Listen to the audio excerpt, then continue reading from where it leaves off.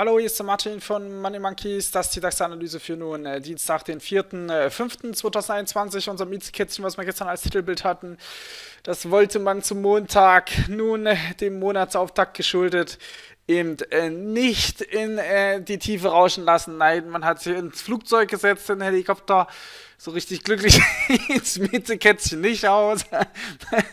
ähm, aber man hat sich viel Mühe gegeben, das hier in Szene zu setzen, sodass das aussieht, wie als wäre das Mietekätzchen oben raus. So, was haben wir jetzt gekonnt? Ähm, eigentlich so richtig gar nichts halt. Ne? Stehen auf dem gleichen Niveau, wo wir schon vor vielen Tagen standen haben unten da ganz schön rumgeschrammt, haben natürlich auch jetzt der Abwärtsbewegung richtig Fahrt rausgenommen. Also das ist schon mega hässlich. Das macht eigentlich gar keinen Sinn, dass das jetzt hier noch ein Teil von dieser Bewegung sein sollte, aber man man weiß nie oder man sollte niemals nie sagen. Ähm, wenn ich das jetzt so sehe, würde ich fast sogar sagen, der gönnt sich hier noch einen Hoch. Äh, das sind noch, noch, also dass das, wir haben ja hier kein tieferes Tief gesehen. Das hat er die ganze Zeit verweigert. Sprich, dass das noch gar nicht gestartet ist, das wäre the theoretisch denkbar, wenn er sich hier nochmal einen Hoch gönnt und dann versucht anzulaufen. Ne? Dann wäre das jetzt hier einfach eine ausgedehnte Korrektur gewesen es ist aber, brauchen wir, nicht, brauchen wir nicht drüber reden, es ist nicht schön. Also schön ist das auf keinen Fall. Ähm, faktisch haben wir aber fast sowas so wie eine SKS-Formation von der Wirkung her, ne, von der psychologischen Wirkung. Ist, man kann es ja nicht eindeutig zeichnen.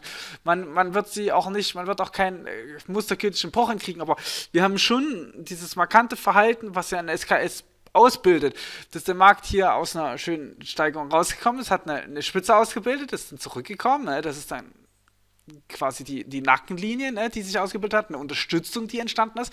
Dann hat der Markt ein neues Hoch gemacht und wurde von dem neuen Hoch aber wieder bis zu dieser Nackenlinie eben kleines Stückchen tiefer noch, aber du bist zu dieser Nackenlinie wieder zurück und ist dort erstmal nicht weitergekommen, wurde stabilisiert, tut sich aber jetzt schon mörderlich schwer auf der Höhe dieser ersten Spitze, ohne dass ein neues Hoch überhaupt erstmal erreicht wird. Ja? Er wird schon auf dieser Spitze unheimlich weggedrückt und das zeigt, dass so ein bisschen die Zuversicht an diese, diesen, diese Trendfortsetzung eben nicht da ist und so. Das ist ja das, was hinter einer SKS-Formation steht und ist ohne Frage eine pot hässliche, als die hässlichste wahrscheinlich, die man haben kann, aber so rein von der, von der, von der, von von der psychologischen Marktteilnehmerwirkung, die hinter einer SKS steht, ist das, ist das was halt. Ne? Es ist mustergültig. Man kann es nicht mit Linien schön ziehen, aber das, von, von der Psychologie dahinter ist genau das eigentlich das, was hinter einer SKS steht. Und von daher, ich würde, die Linien hier unten sind für mich weiter Fokus.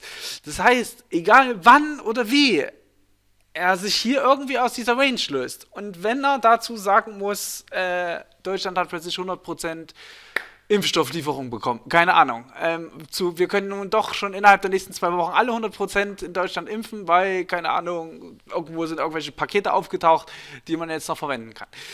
Ähm, und plötzlich gehen alle long rein, weil sie denken, das muss ja jetzt steigen und das Ding macht nach unten. Also, was ich sagen will, die, die Nachrichten, die sind mir in dem Moment scheißegal. Wenn der hier unten rausgeht, glaube ich, kann diese Wirkung dieses Top- Bildungsmusters, was es dann ja wäre, kommen. Aber es ist wie gestern. Und da kann ich mir auch den Mund fußlich reden. Der muss halt auch unten einfach raus. Es bringt nichts, hier in der Seitwärtsrange rumzustottern. Das ist kein Punktgewinn. Das ist auch nicht stark. Das ist auch nicht schwach. Das ist einfach Seite. Das ist einfach nur seitwärts halt. Ne? Das ist Range. Und in der Range ist wichtig, wann brechen die Kanten auf. Und das haben wir unten eben nicht gesehen zum Montag. Ich hätte es mir gewünscht. Ich, ich, ich hätte es auch sogar tatsächlich favorisiert. Wirklich. Wirklich, ich habe das. Ihr habt den eher unten rausgesehen, das muss ich ganz klar so sagen. Ne? Eher, dass der hier unten rauszieht. Aber wir haben das immer wieder gesagt, der muss halt auch da drunter durch. Wenn er das nicht tut, haben wir, haben wir gesagt, ne? wenn es nicht tut und er tut wieder 1,50, 1,80, dann wird er wahrscheinlich auch hier wieder hochziehen. Ne? Und vielleicht auch nochmal eine 260, 230, 270 sich gönnen. So, und pup, hat er gemacht. Na, und so ist es, das ist einfach Range noch. Wir sind noch in der Range. Wir haben dann nicht das Go bekommen nach unten. Scheut sich wie ein, wie ein Dreckvieh hier. wie ein Dreckvieh scheut sich da unten aus.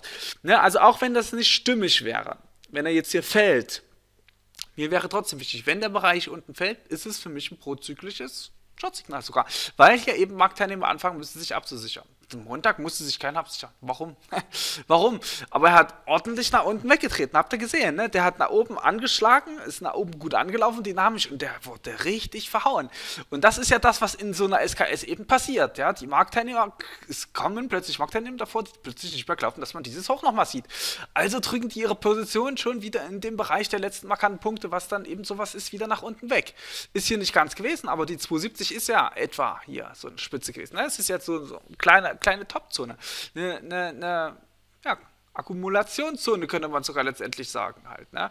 Mit dem Unterschied, dass hier halt wirklich einer nach unten wegdrückt. Immer wieder. Zwischen 270 und 335, äh, 335. Immer wieder. Das heißt, solange der hier immer wieder nach unten schiebt, bleibt das erstmal seitwärts. Solange die Jungs hier unten immer wieder hochkaufen, bleibt das seitwärts fällt aber irgendwann mal unten die Marke. Sind die Jungs, die hier alle immer wieder das Ding hochgezogen haben, komplette Minus. So, und dann kriegen die Druck. Alle müssen aus der Position raus, drehen sich und so weiter.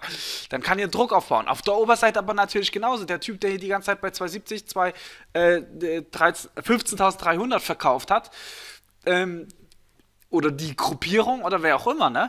Es kann, es kann uns egal sein. Wir bewerten den Chart. Wir wissen ja auch nicht, wer dahinter steht. Ob das ein Multimilliardär in Mexiko ist oder ob das eine, eine Großbank aus Amerika ist, das kann uns scheißegal sein. Uns geht es um die Kerzen, denn die verraten uns, was hier passiert. Und die können wir werten. Und das ist halt die Charttechnik, das ist schön. Ne? Das kombinieren wir noch ein bisschen, indem wir rechts und links die Leute beobachten. Da war heute nicht viel zu beobachten, die waren alle relativ ruhig gewesen, außer wo es dann schnell wurde. Ne? Aber Punkt. Wir wissen es nicht, aber was wir wissen ist, wenn er oben rausgeht, kommt derjenige, der verkauft hat, unter Druck. Und wenn er unten rausgeht, der, der gekauft hat. Und das hier richtig, was hin und her geschoben wird, das sieht man. Das sieht man, das sieht ein Blinder mit Krückstock hier. Ja, wenn du hier deinen Finger auf die Kerzen hältst und die, äh, die sind dunkel und sind hell, dann siehst du als Blinder, dann, dann, siehst du als Blinder, dass, das, dass hier gut was über die Theke geht. Da muss ich nicht mal in, ins Volumen reingucken halt. Ne? Das, das merkt man. So, Fakt ist also, was will ich euch sagen? Wenn der sich hier langsam aus dieser Spanne rauslöst, kann es durchaus sein, dass der sich erstmal richtig entlädt. Dass das wirklich ein paar Punkte geht. Und gerade so ein Tag, wie wir jetzt zum Montag gesehen haben, die sieht man häufig. Das sind so typische Tage, wo Leute, die ohne Stop-Loss traden, sich so richtig auf die Schulter klopfen und so sagen, was erzählen die immer halt. Ne? Äh, es funktioniert super. Guck dir die Idioten alle an, die sind alle nur ausgestoppt worden. Ich habe hier richtig gute Gewinne halt. Ne? So, so ist es. Dann werden die sicherer und so weiter und so fort. Die anderen, die eben mit Stopp arbeiten, überlegen sich vielleicht, naja, vielleicht mache ich es doch anders. So fangen immer wieder Bewegungen an, die wirklich mal 500, 1500 Punkte am Stück dann gehen. Ne, und von daher wird es, wird es langsam schon wirklich verstärkt eben auf einen Rangebruch gucken. Erfahrungsgemäß, wenn ich das sage, kommt immer noch mal ein Fehlausbruch. Also es ist einfach so. Wir haben so viele Videos, wo wir solche Tage beobachtet haben und dann gesagt haben, hier kommt langsam ein Range-Ausbruch, dann kam noch mal oben Fehlausbruch, unten Fehlausbruch, dann ging es oben raus oder andersrum. Ne, also nicht zu sicher sein in dem Moment, wo er rausgeht, aber grundsätzlich ist es, wir haben einen erhöht, erhöhten Wahrscheinlichkeitsvorteil in dem Moment, wo der oben oder unten eben rauswandert. Und wenn ihr dann da noch ein paar schöne grüne Kerzen seht, ihr seht einen kleinen Rücklauf, der dreht wieder auf oben, oder ihr seht unten raus schöne rote Kerzen und er macht einen kleinen Rücklauf und dreht dann wieder runter. Das sind dann die Momente, wo auch ich dann einfach reingehen würde. Denn äh, einfach mithalten, ne? nicht dagegen stellen wie die anderen. Nicht das machen, was dann 80% der Marktteilnehmer machen. Schön mitgehen. Solange wir aber hier in der Range stehen, Punkt aus, kann man das Video zumachen machen. Die Marken kennt ihr alle, 270, 230, 180, 150 könnt ihr im Schlaf aufsagen, 35, 335, die 13300, äh, 15300, 1535, 15350, das muss alles weg. Ansonsten spielt er zwischen den Marken einfach die ganze Zeit Tennis hin und her. Das macht er, Ping-Pong. Ganze Zeit hin und her. So wie jetzt ja eigentlich letztendlich auch am Montag hier. Ja, aber frische Signale bekommen wir erst, wenn wir raus sind. Gut, also ich mache dann hier zu. Ich wünsche euch Spaß. Ähm, ja, erfolgreichen Dienstag. Kann man nur sagen. Also, wir hören uns morgen wieder. Bis dahin. Ciao.